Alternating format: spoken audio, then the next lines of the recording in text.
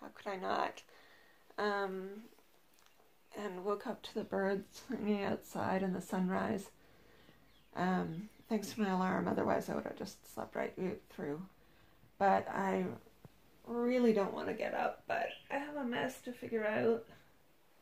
And I really have to get on the trail before the sun gets up too high, so unfortunately, as much as I would love to stay here and just lay here for a bit, I can't. I have to get up. So here we go.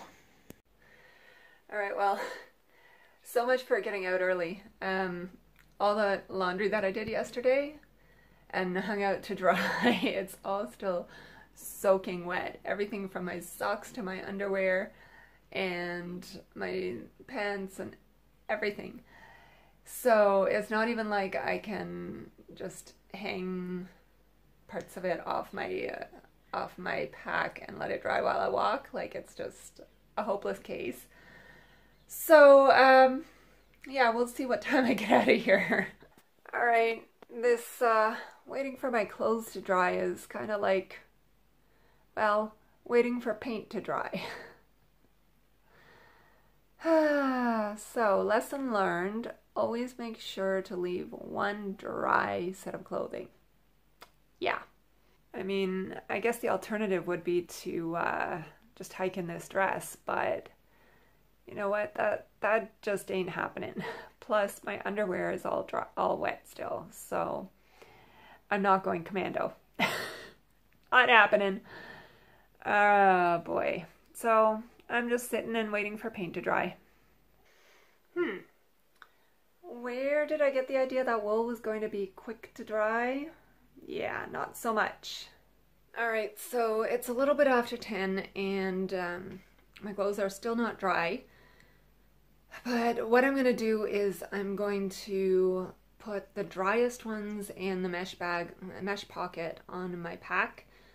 Hopefully they'll continue to dry a little bit in there, but there's a lot of them to stuff in there, so we'll see. And then the wetter clothes I'm going to wear. yeah, so that's to be that that is to be refreshing, right?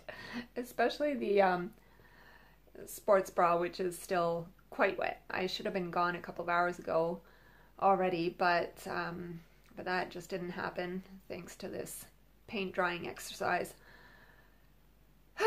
but uh, hopefully I'll be on my way soon. Alright, so it's almost 10.30 and I should have been long gone by now. And uh, my clothes are still more wet-ish than they are dry-ish, so what's the worst that can happen? If anything, they're just gonna get wet with sweat very soon. So finally set to go. It's uh, after 11, quarter past 11 maybe, and uh, my stuff obviously still not dry, but it dried a little bit actually on, on me from my body heat. And uh, the sun is quite high, it's crazy hot, leaving at the worst possible time, but uh, hopefully it'll all be okay. Oh, crap. I forgot to lock the door. Now I have to get all the way up those stairs again, either all the way up the stairs or with the pack or leave the pack down here. Um, I think I choose to leave the pack down here. All right, the door is locked and I can finally get this show on the road. I've made it a little ways down the street. Just wanted to show you where we are. This is a little kibbutz called Ma'ayan Baruch.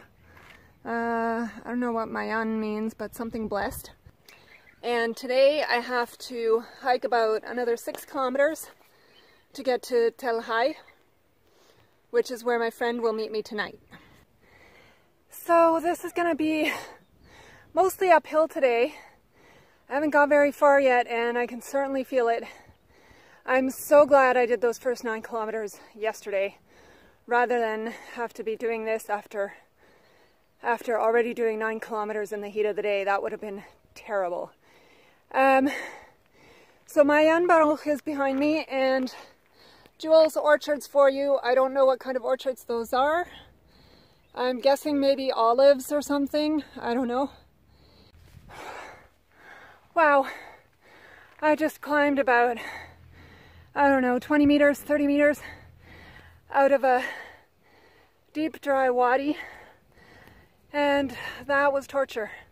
I am so glad that I've finally managed to figure out how to pack my food into my pack and uh, get my hands free to use these guys because without them I don't think I would have made it. So back there, that's Ma'ayan Baruch. Back behind it you can see those hills and I don't know if you can see it for the haze but somewhere back there is Mount Hermon which is where I climbed halfway down from that first day the other day. And uh, I'm just glad I didn't climb the rest of the way yesterday. I made a good decision for once in taking the bus to Dan, and now I'm officially on the Shvil. Here's another orchard just after that wadi that I climbed out of. It's another orchard. I don't know my fruit plants that well. This is something different. I'm actually able to, the road goes right through this orchard, so I'm actually get, able to get right close to it. I don't know what these are. Um, I don't know, maybe you do, but I have no idea. So there you go. Orchards everywhere. Jules, this is for you. I don't know what that is, if it's some kind of insect repellent or something, you might know. Um, maybe some kind of natural insect repellent. I don't. I really don't know. So I decided to take a break in the uh, last trees of the orchard in the shade because I don't know where I'm going to get shade next. And I've just finished walking maybe about a kilometer of the actual trail, but I had to walk about a kilometer first just to get to the gates where it joins with the um, where the Shvil continues. So I've already walked probably about two kilometers, um, one of it official Shvil, and I'm dripping with sweat. I thought I had plenty of water because I'm only doing part of the trail today, but uh, now I'm thinking I probably don't. And there is a landmark just ahead. I just saw a truck drive by so I can check from the red book and figure out exactly where I am and how far I have to go.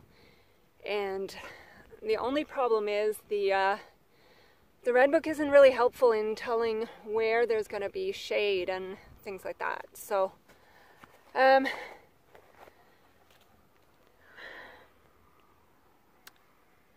yeah. So while I was sitting here on the side of the little dirt road through the orchard, I noticed, oh, okay, no. Well, I noticed over there, I don't know if you can see that, but behind the tree, before the wind started, breeze picked up, you could see the uh, trail marker.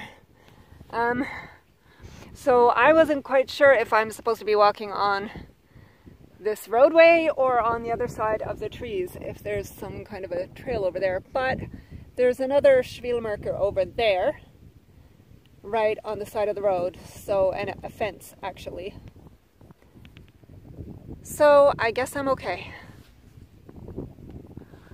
And uh, looking at the map, the the most of the rest of the way into Tel Hai looks to be road walking, which I'm not so, so sure I'm fond of, but and especially since that just confirms that there's no shade for some ways. So I'm just gonna sit here and uh, take a break for a little bit. Okay, so this uh, heat is clearly messing with my head. I thought I had to do 15 kilometers today, but actually it turns out I only have to do 13. And somehow I'm still sitting in that very same, uh, under that very same, I think it's actually an almond tree, because um, I'm sitting on a mound of almonds, uh, almond shells, um, what I think are almond shells anyways. Um, and I just took a closer look at the instructions and either I don't know how to add or I've just done about 2.8 kilometers of the actual official Shvil already today. And um, that means that means, according to this, hang on, what do I have left? Um, according to that, I'm at 11.7 and I have 13 kilometers left, which means I have just over a kilometer left, which that's kind of crazy. But if that's true, um, it can't be true. It can't be true. Looking at the map, it can't be true. Because I'm only close to Yuval. I still have to get to Kfar Giladi. I don't know. But anyways, once I get to Tel Hai, I still have to walk a ways to off trail to get to the youth hostel. Life lesson, I don't know how many. If it uh, looks too good to be true, it probably is. Um, honestly, I want to throw the red book and the maps and the directions and everything in the garbage. And I want to strangle whoever marks the markers. Because I just spent an hour of the hottest time of the day pacing back and forth the same 200 meters because I thought I was on Route 90, but I wasn't. And um, trying to get trying to get down onto the highway and I couldn't because there was no way and there were no markers obviously there were no markers because I was lost off the trail but there was no markers up above to tell me where to turn to keep on the trail um, probably I got a little too excited once I read those directions and I just didn't think straight. So learn from that. Don't let your emotions get get uh, the better of you because you could end up in real trouble. So I'm going to sit here in the shade. I am on the right track now. I am on the Shvil. But I wasted a huge amount of time in the heat a huge amount of my precious water that I now actually need a lot more of than I thought because I'm actually not close to Tel Hai. So I'm going to sit here, I'm going to eat some snacks and uh, just chill for a bit. Jules, just for you, I'm sitting in an olive grove, olive under an olive tree in an olive orchard. So there's olives. This is that second break I was taking. I still have chocolate all over my face. Uh, that second break that I took after I got lost and cursed myself to high heaven about 50 million times over an hour. So I still have more than two kilometers to go to get to Tel Hai and then probably another kilometer or so to find the youth hostel. And that's quite a disappointment after thinking that I was almost there. So, oh well, I guess that's life. You have to pick yourself up and move on. Well, finally some shade and some beautiful flowers. I've made it to Kfar Giladi, and uh, this is a cemetery of some sort, it looks like. And there's a monument here to Yosef Trumpeldor, who's a big Jewish hero. Um, over there behind the flag, it's a lion. And honestly, if I had more energy to tell you about him, I would look something up to tell you about him. But all I remember was something about he um, lost his arm in some battle. Then he fought in the World War One and got wounded again, and then got killed in some other battle. And his famous last words were, "It's good to die for one's country." So that's about all I got on Josef Trumpeldor. But this is his monument. I need to take a bit of a break. I see some hikers over there. Maybe I'll go over and say hi. I think I, they passed me along the way while I was taking another break. So, um, oh, why am I going up the steps? after I just climbed from I don't know where down there.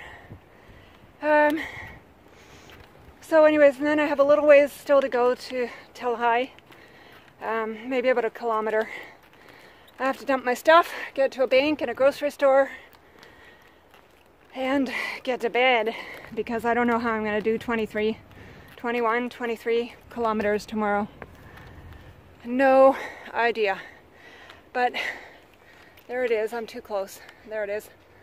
The uh, monument to Trumpeldor. Wow, what a day. What a crazy day. And I gotta tell you, if I had started this morning in Dan, I would not have made it. No way. No way, no how.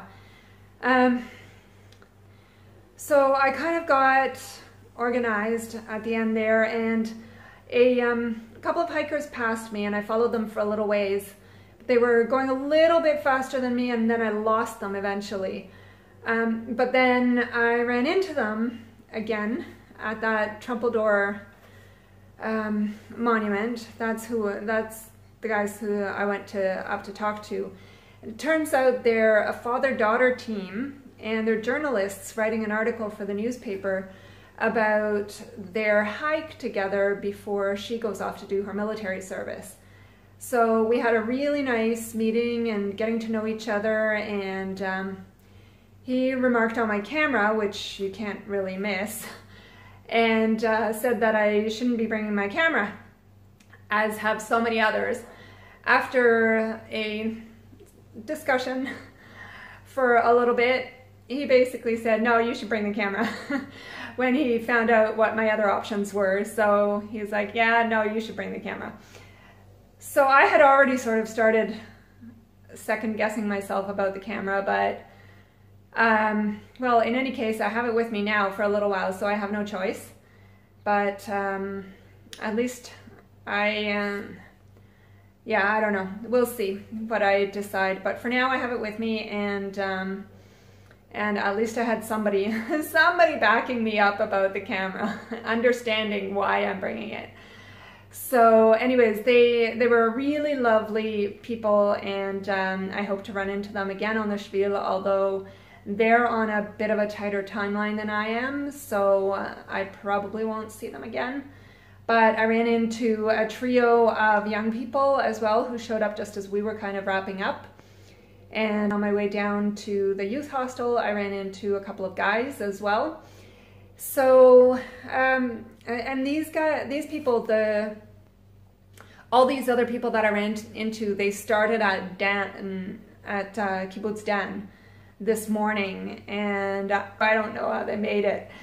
Um, I'm just so happy that I started in Ma'ayan Baruch and only had to do those, whatever it was, four kilometers, because even those seemed like a nightmare and an eternity. But tomorrow's going to be even worse. It's about 21 kilometers, I think, and it's like crazy uphill. Lots of uphill and lots of downhill. Um, I'll have my friend with me. I'm this at the youth hostel right now. This is the room at the youth hostel, and um, waiting for her to join me later tonight. And we're gonna have to get going really super early tomorrow so that we can do a lot of the climbing in the cooler morning, unlike what I did today. So I have to put those clothes that were still wet um, up to dry and hopefully I'll have a dry set of clothes to wear tomorrow. Oh yeah, and the other thing I did today was I did my very first, okay, this is too much info for some of you, sorry. Um, my very first squat pee without actually taking my pack off because I just had to go that bad. So yeah. Anyways, done. Had a lot of firsts today and um, we're gonna see the the two um, father-daughter pair. The father was very insistent about how dangerous it is out in the desert and to be very careful and so on and so forth. And yes, absolutely, I agree with him. And from my experiences the last couple days, you cannot underestimate um, how difficult it can be and what the effects of the heat and the sun and dehydration can be on you. Just had an amazing dinner down in the dining room. Um, I decided to splurge on an extra because I just need to eat well when I can. Um, so decided to make a good a good decision and um, splurge on the 78 shekels or whatever it was to uh, to get the hostel dinner, and it was definitely worth it. Um, I don't know when I'll get my next real meal at all, so just so worth it. Um, waiting for my friend to show up from Haifa, and um, I think we're gonna have to chat about what we're gonna do tomorrow because um, I don't know. I'm just thinking that this is maybe maybe one of those places where it's necessary to make good decisions. So, well, it's always necessary to make good decisions, but um, yeah, that's becoming a theme along this trail is good decisions, not bad decisions. Um, anyways, so that's where we're at right now. Oh yeah, and uh, one thing that was invaluable to me was the um, the father and daughter team. I have the app, the INT app on my phone, but I just haven't had time to sit down and figure out how it works. Now that I'm in Israel back home, it wouldn't even work, so there was no point. So now that I'm in Israel, I've been hoping to run into somebody who could show me how it works. They were so helpful in getting me on that and getting that working on my phone. It's going to be a lifesaver. I can see exactly where I am. It works on GPS. Um, not at all like the Redbook maps and directions. Uh, this is going to be so helpful. Um, I can't wait to actually use it tomorrow. So um, I'll let you know what I think, but I already love it. Like, I already love it. It would have saved me so much heartache over the last couple of days if I had been using that. Okay, so my uh, friend is here and she's sleeping in the other room. We've had to discuss our options for tomorrow and make some decisions about what we're gonna do. And there's been some changes to the plans, but I'll tell you about those tomorrow. I just had to come out and Wish you guys a Lila Tov.